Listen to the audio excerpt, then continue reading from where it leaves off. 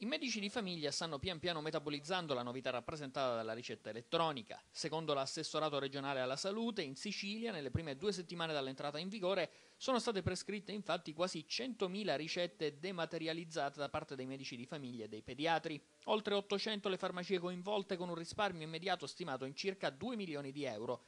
Messina è peraltro la seconda provincia più attiva come percentuale di medici che hanno prescritto in modalità dematerializzata dopo Caltanissetta. 116 medici che si sono adeguati al nuovo sistema, una percentuale che per la verità non appare esaltante dal momento che rappresentano appena il 18% del totale. 4 medici su 5 devono quindi ancora adeguarsi alle nuove normative che impongono la tradizionale prescrizione soltanto in formato elettronico e non più cartaceo.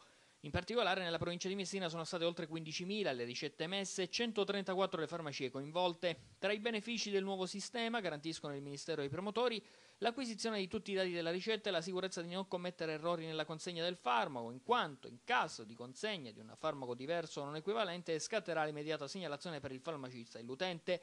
Il servizio sanitario regionale risparmierà, come detto, 2 milioni di euro per la stampa e la consegna dei ricettari rossi, otterrà il monitoraggio della spesa e delle prescrizioni in tempo reale e dei percorsi terapeutici. Soddisfazione è stata espressa dall'assessore regionale alla salute Lucia Borsellino che ha lodato anche lo spirito di collaborazione di medici, farmacisti, utenti, Federfarma e sindacati medici, tra cui la FIMG.